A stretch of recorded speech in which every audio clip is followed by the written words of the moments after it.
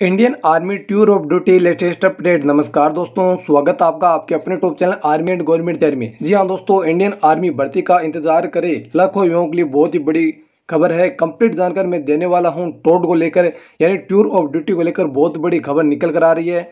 यहाँ पर आप देख पा रहे हैं दोस्तों, मैं आज वीडियो को ज़्यादा बड़ा न करता हुए बिल्कुल सीधे अपने जो टॉपिक पर है, उस पर आता हूँ। यहाँ पर आप देख सकते हैं, सेना में, यहाँ पर देख सकते हैं, सेना में भर्ती चार साल के लिए इसी महीने योजना का ऐलान। यानी दोस्तों, जो सरकार की तरफ़ से टोड एंड ट्यूर ऑफ़ ड्यूटी की जो स्कीम लागू, जो योजना लाई गई थी, उसका ऐलान है, सरकार जल्द करने वाली है। यहाँ पर इस न्यूज़पेपर में इसे है, वो यहाँ पर कवर किया गया है। यहाँ पर आप देख सकते हैं यहाँ पर देख सकते हैं जो news times group dot com के द्वारा ये छपी खबर है, जो जिसका न्यूज़ पेपर कंप्लीट हम आपको दिखा रहे हैं और आपको ये न्यूज़ पेपर है, वो हमारे टेलीग्राम चैनल पे मिल जाएगा।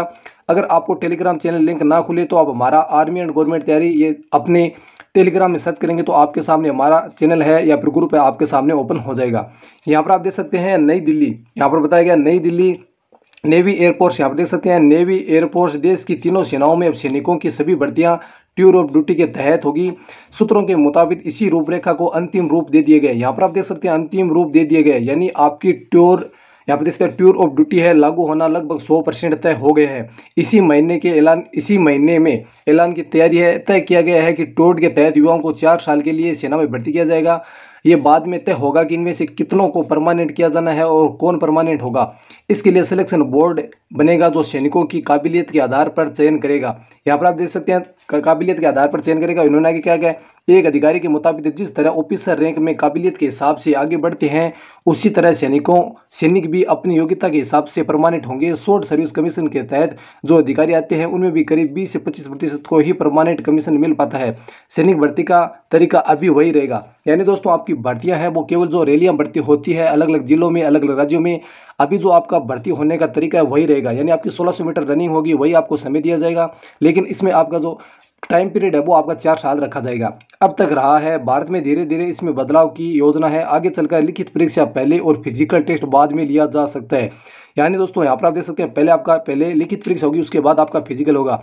जो युवा टूर ऑफ़ ड्यूटी के तहत आएँगे, उनकी छः महीने की बेसिक मिलिट्री ट्रेनिंग होगी और अमूमन अठारह साल में युवा सेना में आएँगे। यानी आपकी जो, अब ट्रेनिंग होगी, वो नौ महीने के बजाय छः महीने होगी और चार साल बाद बाहर निकलेंगे तो उनकी उम्र 21 से 22 साल की होगी। सेना से निकल कर ये युवा दूसरा रोज़गार कर सके। इसलिए चार साल की सर्विस के दौरान ही इन्हें, यहाँ पर देख सकते हैं प्रोफेशनल डिप्लोमा डिग्री कोर्स भी कराए जाएँगे। जब युवा रिक्रूट होंगे तो उनको करीब तीस हज़ार रुपये सैलरी मिलेगी। टीओडी के तहत यहाँ पर देख सकते हैं, भर्ती सैनिकों को सेना में बाहर होने पर ना तो पेंशन मिलेगी और न ही ईसीएच जैसी हेल्थ स्कीम का फ़ायदा मिलेगा।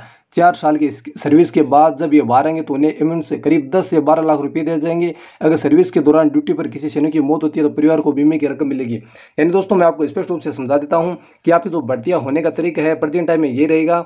और यहाँ पर जो आपको जो पेंशन वगैरह है, वो नहीं दी जाएगी और जब आप चार साल कंप्लीट आपकी हो जाएगी, यानी आपकी चार साल जो आर्मी में जो टाइम पीरियड वो कंप्लीट होने के बाद आपको दस से बारह लाख रुपये दे दिया जाएगा और आपसे, आपको आर्मी से रिटायरमेंट कर दिया जाएगा।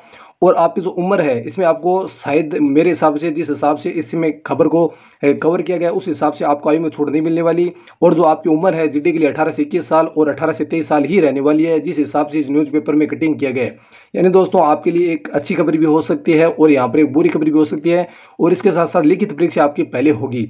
तो ये थी दोस्तों, आज की लेटेस्ट अपडेट इंडियन आर्मी से जुड़ी पल पल की खबर पाने के लिए चैनल को ज़रूर सब्सक्राइब कर लीजिए बेलाइकन प्रेस कर लीजिए, ताकि आने वाले हर वीडियो का नोटिफिकेशन हम आप तक सबसे पहले पहुँचा सके। मिलते हैं दोस्तों नेक्स्ट वीडियो में एक नए अपडेट के साथ। तब तक के लिए जय हिंद, जय भारत।